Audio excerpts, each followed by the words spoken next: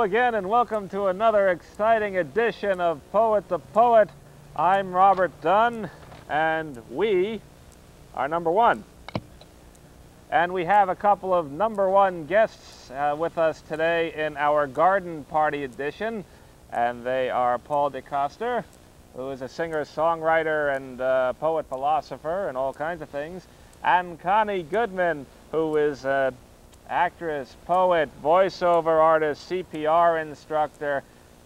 If there's anything she doesn't do, that's legal anyway, I can't imagine what it is. So it's going to be a wonderful show. In our garden party, they get the flowers, I get the weeds, which is kind of uh, what I deserve, I suppose. But um, I don't have to take that from anybody. Anyway, let's get into our first guest, which is uh, Paul DeCoster. He's a, say, singer, songwriter, musician, etc., etc. Lives in Manhattan, naturally. He first took up the guitar at age 11 in summer camp. He built his first guitar himself in the woodworking shop, I believe. Uh, yeah, or, or did right. or did termites carve it out for you? Uh, unfortunately, the termites got to it, so I don't have it. Uh-huh. Well, after after he got rid of the termites, he uh, started studying it in earnest and gravitated towards classical guitar. And um, he's done a lot of interesting people uh, had teaching him, like whom, for example? Um, well, well, the first major teacher I had was a guy named Andrei Menchikov out of College of Worcester. He um, was Mhm. studied he studied under Andrei Segovia and Julian Bream of all people. Uh-huh. And um, uh, one of his best friends is David Russell, who, if you ever get a chance to see him in concert, is absolutely fabulous. Mhm. Okay. And what about this Russian novelist who plays the... Uh, Gogol was his name? Oh no no no no no no no no no.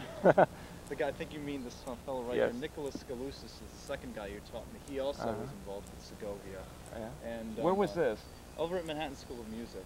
Oh, what about the Eastman School of Music in Rochester? He's teaching there now. Oh, he's He used teaching to there teach now. at Manhattan School of Music. See, the thing about uh, the Eastman School in Rochester is they teach you how to take photographs with the guitar. While playing the guitar at the same time and taking photographs. Right. I, I, I'd be very interested to see where you load the film on that guitar. That's going to be, uh, and you play a couple of uh, interesting styles, with, uh, such as salsa, jazz, and uh, didgeridoo. I always thought the didgeridoo was a wind instrument. Well, it is in a sense. Basically, it's sort of like a long instrument. comes from the Aboriginals in Australia, and what you do is you sort of blow into it, and it's like at a very deep Mhm. bass sound and stuff like that. It's not very well known here in the States. Of course, like in the UK and Australia, they know Possibly because it sounds like a head cold. very, very bad head cold. Well, Yeah.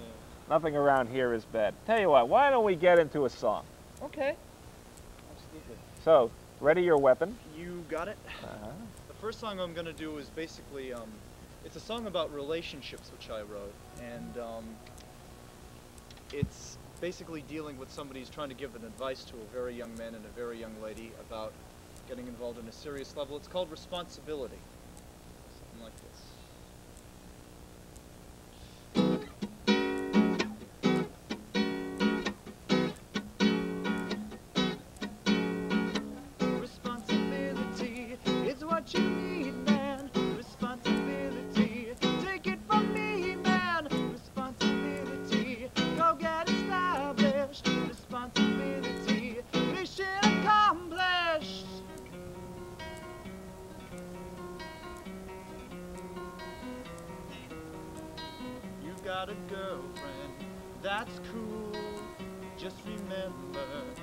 Don't suffer fools. You need some money to take her out.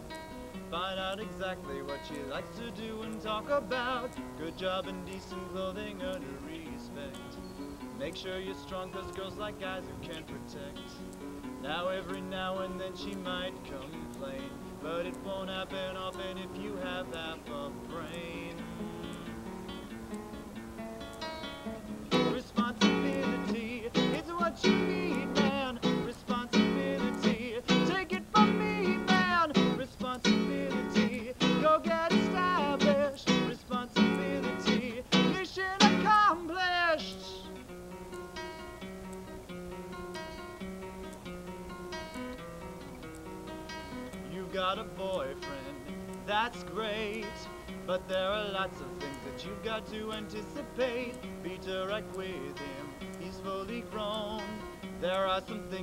To handle on his own.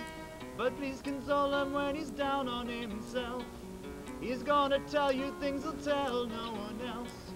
You are his angel, so you've got to play savior. Give him a doggy treat when he's on his best behavior.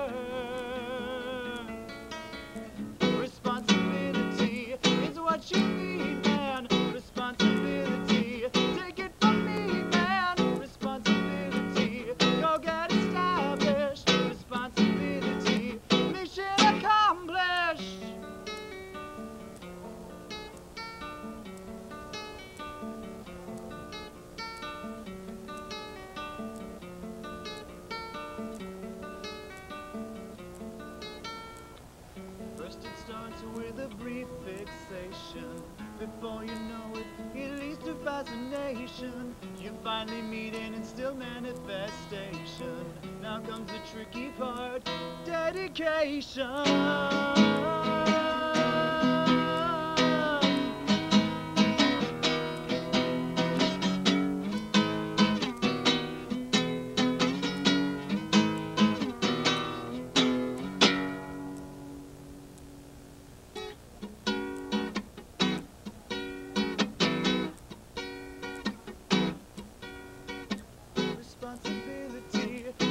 Is what you need, man. Responsibility, take it from me, man. Responsibility, go get established. Responsibility, mission accomplished.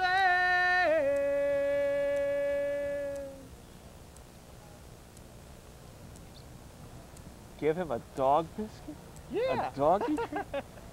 Any woman try, tries that on me had better be smiling when she does it. She Other- probably will. um, otherwise, we'll all end up in the doghouse. Quite a remarkable performance there. What prompted you to write this one? Well, it's kind of funny. I think um, I've sort of, well, I mean, this is kind of like a confession, really. I've been through a few relationships which have warranted such um, uh, warnings, you know, because I feel, especially when two people are getting married or something like that, I think there's sort of, sort of like butterflies in the stomach, so to speak. So Uh-huh. they really, um, so you have like the the fathers on one side advising their daughters, and the fathers and mothers on the other side advising the son, and the whole bit. And it's just like there's so much pressure going on that, You get butterflies between the ears, too. indeed. All right, let's slip in another song okay. while we got the time. right. Okay. Just give me a minute to tune up. I hear, I hear, I hear sirens coming because, uh, you know how it is with these garden parties. The neighbors start looking over the fence and they wonder just what in the name of heck is going on out here. And And they've uh, the nerve to do it in public too. yeah, in public. I mean, we have all this foliage around us. I figured it would have been enough cover, but sometimes not. Oh, there go the cops again. Hi, guys. it's okay. I've done this before.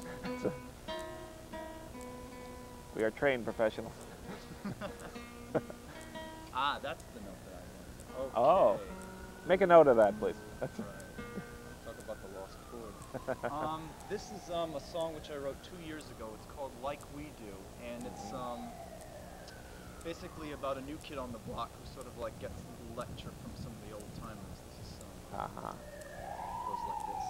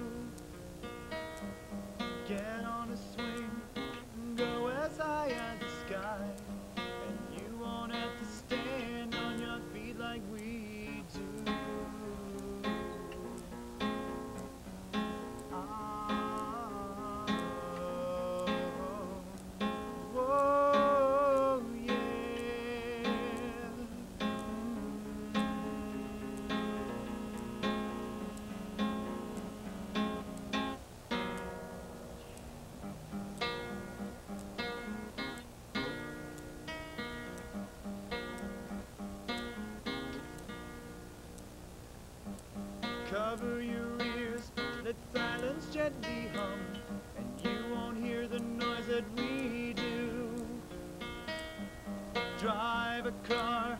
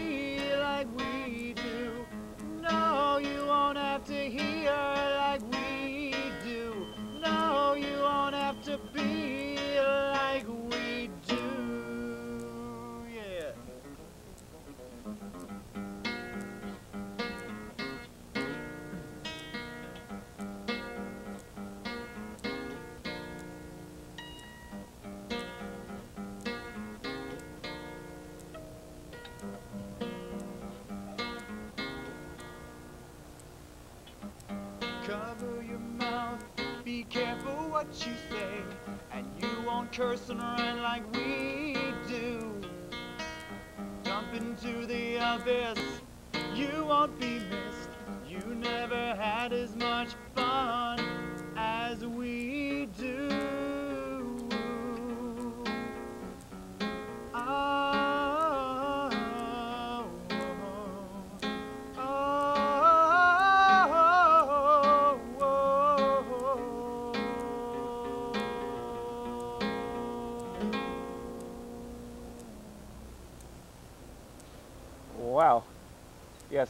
Put that down for a moment. It might go off. I get nervous when you point it at me. I'm One, one, no, that's okay. One final, it's part of the risk of doing a TV show. One final point.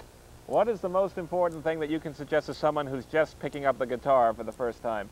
Well, I think basically what it takes is sort of like a martial art. You gradually have to learn the motions and sort of like get it down in your head to the point where it's almost like a mental game. Mm. All of the emotions that you do with your guitar, it's almost like walking, it's almost like talking. Sometimes even Uh-huh. like thinking, it's just like a mental process which you just gradually have to um, uh, transport in your mind, just eventually Ah. gets processed through. I know I'm sounding very mystic and I'm moving my hands a lot when I do it. I can't help That's, it. I'm a o- that's okay. player. That's okay. This is video. A martial art. Peter Schickele once spoke of a pianist he knew who uh, came from Hong Kong and had a black belt in piano. and on that happy note, Paul DeCoster, I want to thank you Thank you for so coming much. on to Poet to Poet, and we'll be right back with Connie Goodman. Yes.